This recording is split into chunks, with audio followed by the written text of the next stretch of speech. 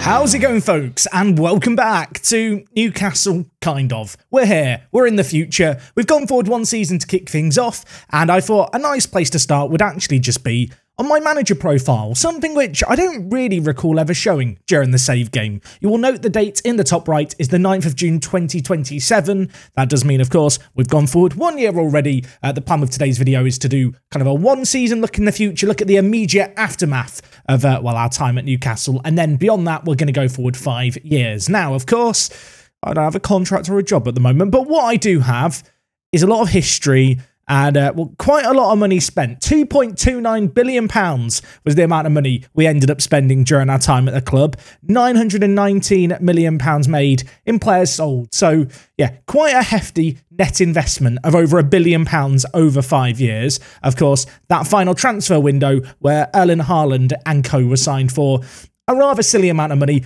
definitely contributes to that. In terms of the overall stats you can see here, we ended up winning 72% of our matches, lost 36 games of 296.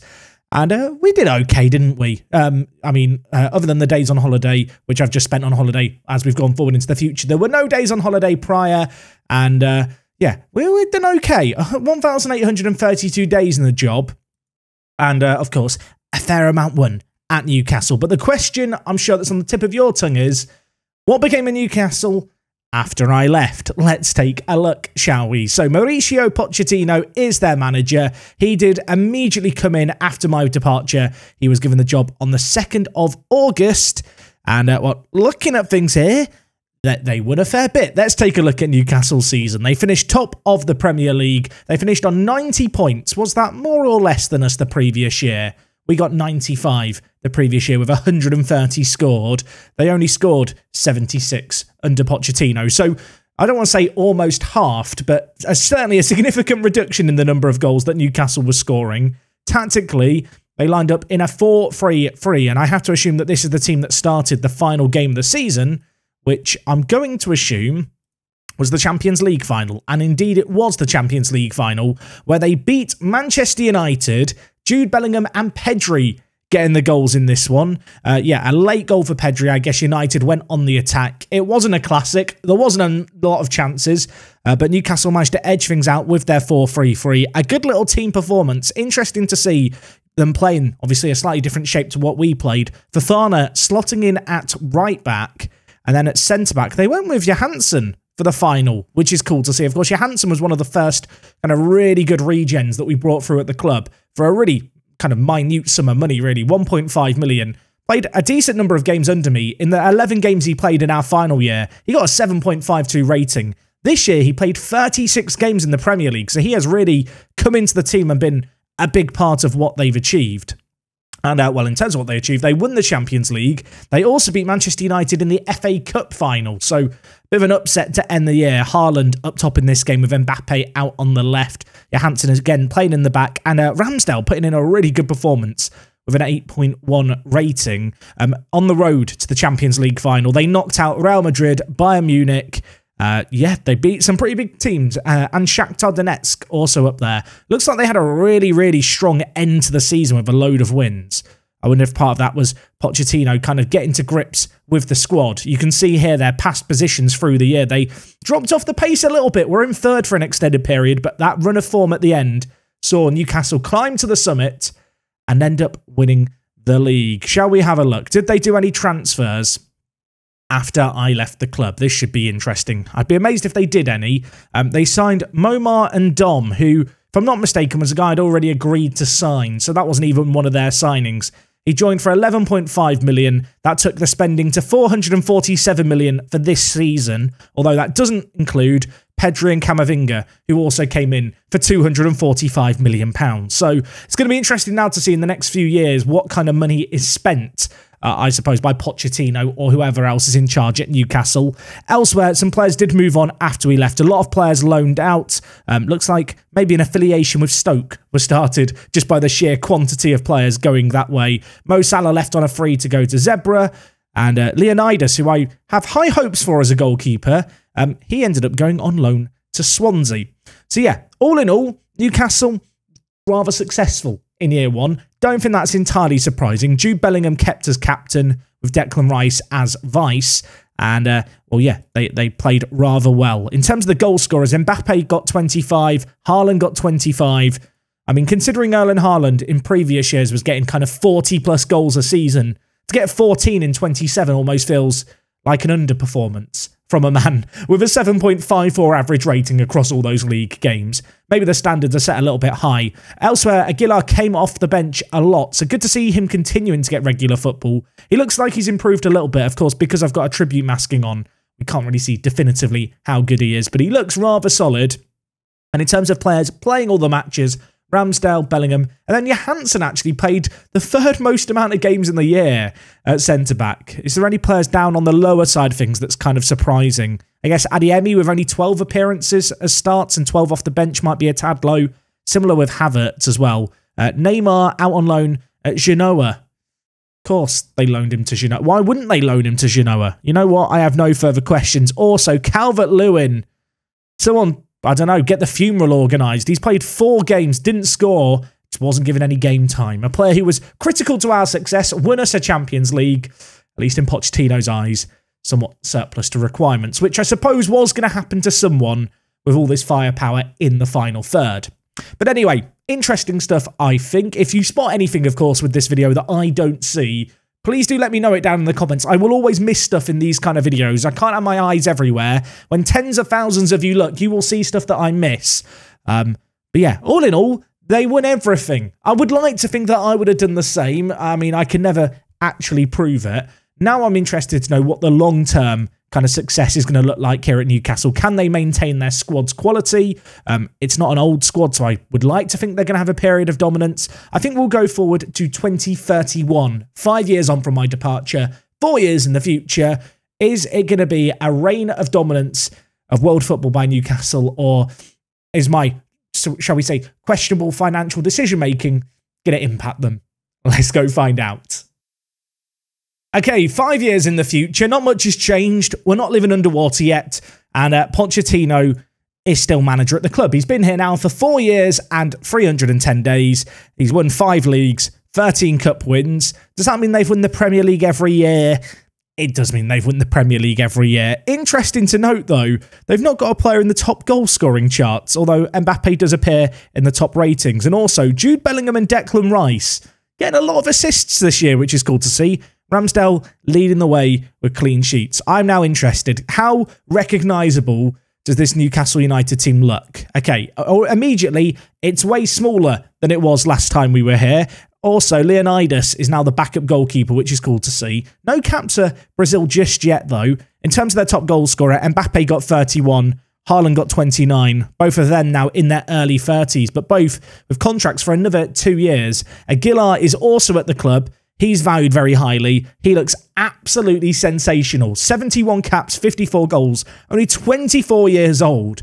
I can only hope they're going to renew his contract because he seems like the obvious long term replacement for Mbappe and Haaland.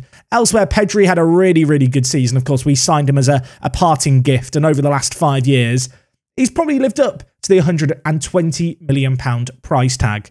Um, if you're wondering how convincingly they won the Premier League over the last few years, they won it with 89 points, 85 points the year prior, only one point ahead of Liverpool.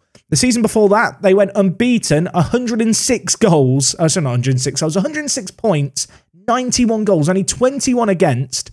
And that's uh, an unbeaten season. And then the season before that, uh, they beat Manchester United to the title by six points. So yeah, a, a, pretty dominant display, it has to be said. In terms of their transfer dealings over the last few years, of course, when we left things, um, things were looking like this. They'd obviously spent the money on Haaland. The following year, £152 million spent. Talles Magno was the big addition there, signed for £110 million. Not sure he's quite lived up to the price tag looking at that. That looks like a questionable signing at best, but he was their big addition. And on the outs, they sold Kai Havertz to PSG for 119 million pounds, and now he's gone on to have a really phenomenal career. Uh, obviously playing for PSG in League 1. The year after that, they spent zero pounds, although Marquinhos joined on a free. He's now just 37 and chilling at the club, although with a model citizen personality, maybe he's a good tutor. And in terms of on the outs, they let Ben Godfrey go for 47 million, Calvert Lewin left on a free, and uh, Reynoso only sold for 4.5 million pounds, and now he's playing for Wolfsburg. So, uh, yeah, he's not had the best of careers. I mean, the hair was very deceiving, wasn't it? The hair convinced me he was going to be good. He wasn't very good, it turns out. Anyway, 2029 30, uh, they signed Gudelj for 110 million pounds. He is a Brazilian playmaker slash wide player. He looks really, really solid. Um, how's he done for them? Has he justified that price? He played eight games this season and got three goals. I'm not sure he justified the price looking at that. Looks like he was signed right at the end of the season before. So this is actually kind of a season signing that was made for this season for 110 million pounds and he was their only addition. So I suspect that all the transfer dealings I've done have had shall we say a compromising effect on the club. On outs, uh, they sold uh, 85 or 86 million pounds worth of players. Uh, Bruno ET left the club. He has ended up going to Wolverhampton Wanderers. Peter Poole has gone out on loan to Swansea. Tomori left for 34 million, which probably isn't a bad sum of money to receive for a player in his early 30s. And uh, well, a few other players. Andy Harwood, the left back, who I thought was really going to be special. No England caps, age 24, but he's done okay. Wasn't really ever given a chance at Newcastle, especially after my departure which makes me feel a little bit sad. And then most recently, um, in terms of transfer dealings, lots of players let go on frees. Edu Cunha, you might remember, was a very late addition, one of the signings we made at the end of the final episode. He looks like a crazy talent. I mean, he looks really, really good. I'm a little bit concerned they've let go of a really good player there. They gave him away on a free transfer as well. I guess they just weren't playing him enough. Alanezi has also left the club, the Saudi youngster. He's 25 years old and he looks really, really good, but yeah, not not being given much of an opportunity. And then elsewhere on the outs, uh, Derry Macarenas, or the Macarena guy, as I like to refer to him as, he's left for 4.9 million. A player who I was convinced they would never lose money on, and yet somehow they've managed to do it. I suppose the question is, what other competitions have they been able to do well in? over the last few years. Of course, we left things. They beat Manchester United in a Champions League final. The following year, they actually lost to Bayern Munich in the Champions League final. They had a shot to retain it. And, uh, well, they got completely FM'd. They stuck with their 4 3 3. They had an XG of 1.66. Bayern had a 0.38 XG, managed to score two. And, well, they lost. Johansson, again playing in this game. Is he still at the club? He is still at the club. He looks ridiculous, doesn't he? He's 25 years old and he looks like one of the world's best centre backs just looking at things there. So disappointment that year. The next year, though, they managed to win the Champions League. So three finals in three years. On this occasion, they won on penalties. In the end, Marcus Rashford missed a penalty and all of the players managed to score theirs. A game that went to extra time. Um, You'd have to sound the balance of play. Newcastle probably deserved it all in all. Fofana with a 9.3 rating at right back is uh, a little bit bizarre. Worth noting they played a midfield triangle of Camavinga, Jude Bellingham, and Declan Rice. I mean, that is, I mean, just Bellingham, to be honest, and Camavinga as a midfield pairing. That's kind of as good a pairing of midfielders as, you're ever going to see, isn't it? Like, they're ridic- they are absolutely ridiculous in game. And, uh, well, unsurprisingly, they managed to win a Champions League. The following year, they got knocked out in the semi final against Manchester United, who finally exerted some revenge. Um, and then in 2031, they won the FA Cup final, which, let's have a quick look. How many times have they won the FA Cup? Uh, only two times since our departure. Of course, we won it three years in a row. They've only, won it two out of the last five years since then. That's disappointing. And then in the Carabao Cup, um, they have managed to win that one three years in a row for what it's worth. But it's not it's not as special as the FA Cup. Let's not pretend otherwise. All in all, though, somewhat unsurprisingly, they're doing bloody well. Uh, in terms of the overall best 11, just so you can see it here and kind of where the players are at. We've got Ramsdale in goal, of course, Johansson, Gvardiol, Fofana at the back, Alfonso Davies and Livramento, who is still at the club. Is Davies still at the club?